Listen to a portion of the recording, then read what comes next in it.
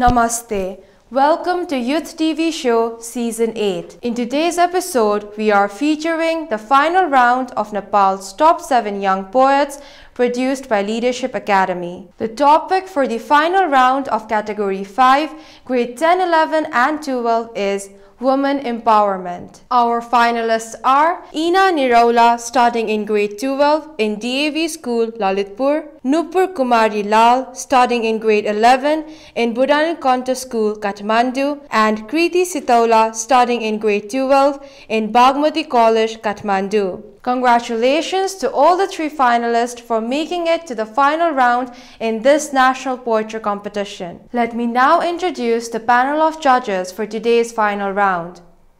Our first judge is Mr. Santosh Shah. He is the president of Leadership Academy. Our second judge is Dr. Ruben F. Del Prado. He is the UNAIDS country director and representative to Nepal, Bhutan, and Bangladesh. And our third judge is Ms. Kripa Rana Shahi. She is a gender specialist. We will now begin with the first round of poetry competition. May I call upon Ina Niroula to come up on the stage with her first poem. My topic is appreciate. To the mother who did not sleep, stood up and had ginger to steep, while you, warm and cozy, slept deep. To the sister who became sad while you cry, she gave you her chocolate with paining shy because she knew that would pacify. To the grandmother who saw you grow, you never liked her although, while she wished her pain you would know. To the wife who came to you, leaving her surname everything new, while you thought she was hell to pass through. To the daughter who, who believed you are crowned, by your rules she was bound, for her every loss she had frowned. While all of she sacrificed, but you never got to thank those candlelights, because blindly you were deeply lost in the beautiful paradise. While you thought you stood up yourself, but secretly they all had helped, without concern of their painful yelp. Go to the flashback and then rewind. Just think once, ponder in your mind, appreciate the sacrifices they all had left behind. Thank you. May I call upon Nupur Kumari Lal to come up on the stage with her first poem. A child, a girl, a lady, a woman. It is a long journey from a cute named baby girl to a bold woman full of dreams, full of stories, full of injustice, full of inequalities, in short, struggle. I am Nupur Kumari Lal, representing Budhanilkanta School. As I am from a family of daughters, uh, I dedicate this poem to every person who has got the privilege to be a daughter. It is them, it is her, it is she. Slow eyes and waxen complexion she has. Her hair is braided that has insidious charm hidden behind. But amid the sunny blur, why is her lost loveliness graded? Fay grace and soul shattering voice she has. She is the beauty, she is the joy that can crash in. But why is she threatened by the specter of her passion? A pukish poem she is, like the first drops of rain she falls, that she can mesmerize anyone with her splendid thoughts. But why these hypocrites slam door at just some of her odds? Why are you forbidding her to get what she deserves? Is it because you know she is sharper than you? Or you know that you can never be coeval to her? Or do you not know things that she already knows? Yes, her tears of tenderness can cause you deep despair. It can melt you down, but don't fall for them. Because she can be mad, she can be clumsy, she can be dramatic, she can be shameless all at the same time. Oh God, had you loved her thus, she grows stronger every day. Oh God, had you loved her thus, she grows stronger every day. Thank you. May I call upon Kriti Sitaula to come up on the stage with her first poem. I will be delivering a poem about Chaupadi. Chaupadi is um, a tradition that is followed in the western part of Nepal, where a girl, when she's menstruating, she's sent to a shed or a hut and she's forced to live there and she's kept away from everybody. This poem is about it, and the title of my poem is Blessing. My sister was my only friend. She was the oxygen to my lungs, love to my heart, water to my lungs. And every time I dreamt of the sky, she was the horizon that kept pushing me forward. You got few steps more, just don't stop. But this voice was isolated and deemed impure. Her first menstruation came in like a hurricane, and as if to save themselves, my parents locked her up into that corner hut we were always so scared to go. First night went by, dry food, no warm clothes, and it was winter outside. The next day I went to see her. It was winter inside. Her always so bright face was dull like it had been frozen in snow. I ran inside to grab something for my sister, only to be greeted by a serpent at her door. She was bitten. She took her last breath in my arms, and as if I'd taken too much carbon, my I choked. And when I gained my consciousness, I closed her eyes with my fingers, and that's when I decided her death deserved to be justified. I didn't have to wait long. My parents got me married to a man thrice my age. My parents were very happy. After all, their daughter got married with so less dowry. On his way back to his home, I ran away. After running away, life wasn't easy. I was alone. It was like I was dissected, exposed. Vultures flew over my head. And just as the silver lining to my dark cloud started to disappear, I heard about this organization run by a woman. With much endurance, I found my way there, got formal education. Now, I run awareness programs about against Chaupadi all over Nepal. My sister is still my strength and my inspiration. My lungs every moment inflate with her presence. I feel her hands on my head and her smiling down at me. My sister was, is, and will forever be my true blessing. Thank you so much. May I now request all the finalists to come up on the stage. May I request the judges to give their feedbacks. Ina Nupur and Kriti, uh, well done. Very good poetry, good recitation. Ina, your poetry, I found it very simple and nice. I think uh, because of your memory, you were a bit distracted. So in your second poem, you want to work on that. Uh, Nupur, very strong poem. And uh, hope you bring that strength in your delivery as well so that they would match each other. Kriti, it's a very sensitive uh, poetry that you have written. You deliver it in a very strong way. So that was really nice of your recitation. All three were really original poems that I've heard. As for Ina, I'd like to say your poem is simple yet very meaningful. But yeah, you really need to work on the delivery as in like, you're good, you're really good. But then there needs to be um, more of impression. You were clear. As for Nupur, very original. You're confident, but you need to like Santosh said, you really need to, you know, work on the impression again. And it was very clear. I could hear every word and it made sense. Kriti, I did my research, I did my thesis on Chaupadi. So everything you said made a lot of sense. And the way you've put it in a poem, uh, it's beautifully done. You've expressed uh, the problems of Chaupadi as well as how it helped the poet to become strong, to go against the so-called uh, cultural values. Um, so yeah, it was nicely delivered. You were confident and very specific to uh, the topic. Indeed, I think all three did a, did a great job. I listened to what poems, and indeed, I, I agree that you know, you know, you were a little bit nervous. Maybe your delivery has to improve. When I listen to content, I look for simplicity. Sometimes you want to say so many things and then you have to focus on so many things happening. I was most impressed by Ina's, Ina's poem because of its simplicity.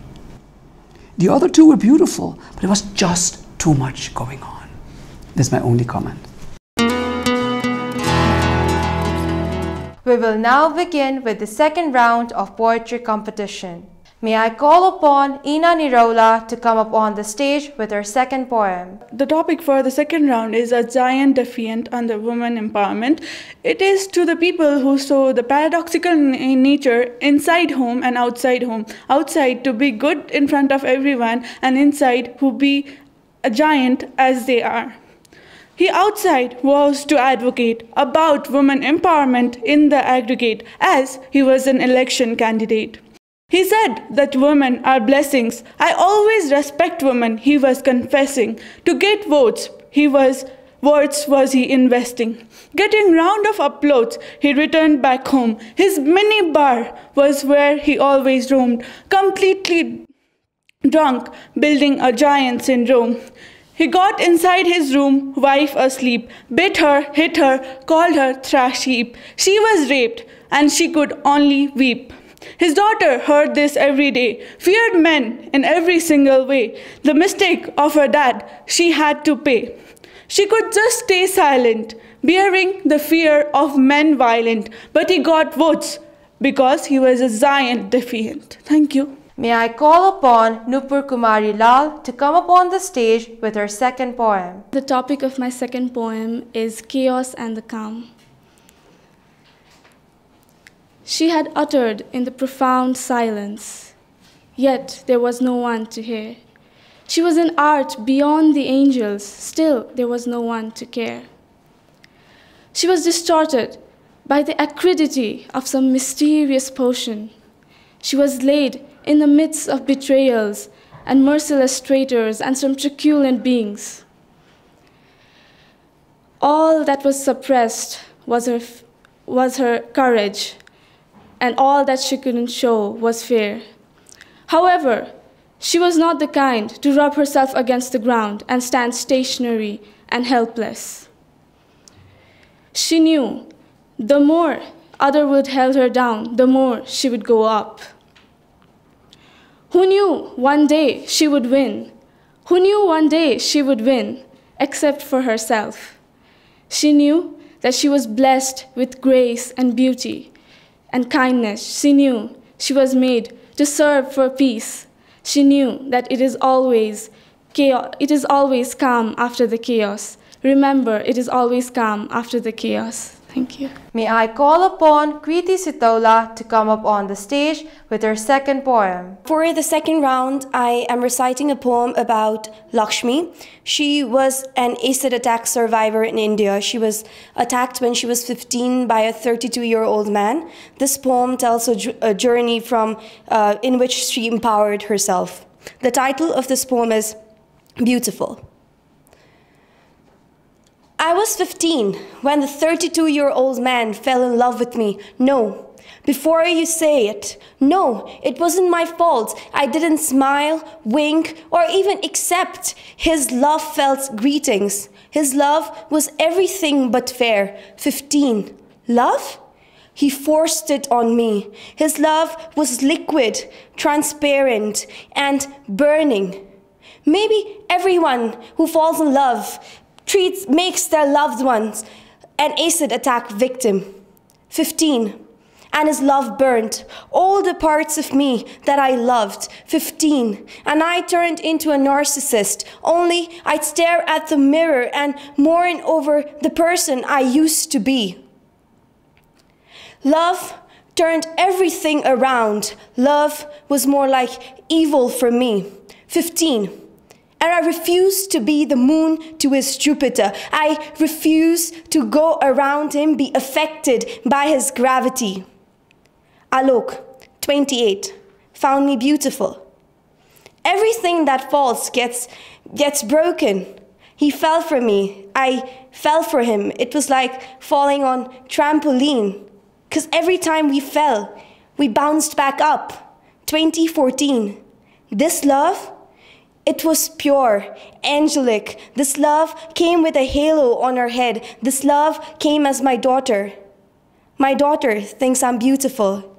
She thinks my scars are so peaceful. These two, they have redefined beauty for me. Beauty isn't a beautiful face, but a beautiful soul. So I keep brushing myself till I scrub myself clean, do everything to avoid any other girl to go through what I went through. I found inspiration and empowerment within me. I am beautiful, beautifuler than I've ever been. Thank you so much. May I now request all the finalists to come up on the stage. May I request the judges to give their feedbacks. You know, once again, when I was invited, I was told to, to listen to the poem. Of course, delivery is so important. so I really focused on content. And, and I think in the second round, the content was even more impressive than the first round. You all wrote your poems yourselves, right? So my compliments to that. It was really, really beautiful message. You know, one of the most important things when I listen and look and, and try to judge is looking at originality. And, and poetry has to touch you. It has to, to touch you because it, it, it explains things and it really takes things at face value and it's real. You know, your, your description, uh, uh, Ina, on hypocrisy, it's amazing. You know, I'm, I'm really, really, really impressed how you described people who outside are so much different than they are inside. That was, that was amazing.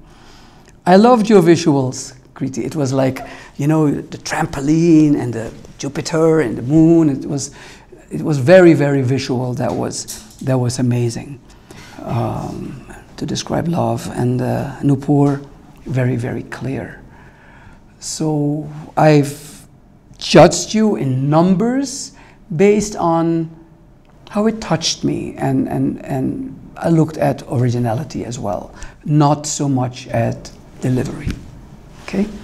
Again, all three of you were really good, especially at your age, writing poems of this level and expressing yourself. It's commendable.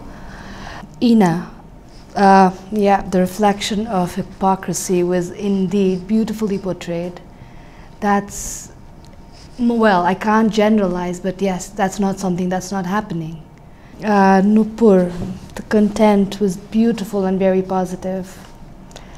And Kriti, you were very confident. Your poem, it had direction, it had vision. What I really liked about your poems was whatever the topic was, everybody, I mean, it was good, but then yours was very specific, like you chose Chaupadi and the, the acid and burns, the, the acid attack case. It was very specific to the topic. Well done, all three. Congratulations, as Dr. Ruben said. Uh, your second round was much better. The first round was good too. Uh, being specific in a, you know, you, you portray, your poetry portrays the irony of current society and politics. Your poetry was short and to the point, which is quite impressive. Uh, Nupur, you have a very unique style of writing a poem. And I hope you, at some point in your life, you find your own unique way of delivering it and it'll be excellent, not just on Nepal's level, but on an international level. Kriti, you maintain the, the same tone uh, of the poetry. In the past, poetry used to be romantic and philosophical and about nature, air, and you know, it's amazing how you have used the same style of writing poetry, but it's very contemporary and it's horrific. It's not, it's not a good one. It's not a positive one. But in your second poem, it's amazing how you took this ugliness of society into something that's very positive, and your poetry kind of gives hope and a way out uh, for people who, due to unfortunate circumstances, go through very difficult times in their life. So it's, it's, I liked your poetry, the fact that it end, ended in a very positive note, although it started with a very intense uh, crime that happens in South Asia and some other parts of the world. All the best. It's not going to be easy for us to decide. Let's see. Whoever wins, consider all three are winners today. The judges are finalizing the marks and we are eagerly waiting to know who is declared the winner and runner-up of Nepal's top 7 young poets category 5 grade 10, 11 and 12. May I request our judge Mr. Santosh Shah to announce the results. The third winner of Nepal's top 7 young poets is Ina Niroula. The second winner of Nepal's top 7 young poets category 5 grade 10 11 and 12 is Nupur Kumari Lal. First winner of Nepal's top 7 young poets category 5 grade 10 11 and 12 is Kriti Sitaula. Congratulations to the winner and the runner-up. May I request our judge, Dr. Ruben F. Del Prado, to come up on the stage and hand over the certificate to the first winner. May I request our judge, Ms. Kripa Rana Shahi, to come up on the stage and hand over the certificate to the second winner. May I request our judge, Mr. Santosh Shah, to come up on the stage and hand over the certificate to the third winner. Leadership Academy conducts four competitions annually Nepal's top seven debaters, Nepal's top seven young poets, Nepal Model United Nations, and Model SAARC. If you are a student between grade 7 and bachelor's level, and interested to audition for any of the four annual competitions, application submission is now open. To apply, you can call our office at 4257-250 or visit us at facebook.com slash leadershipacademyktm. We will be back next week with a new episode of Youth TV show. Until then, hope you have a great week ahead. Namaste.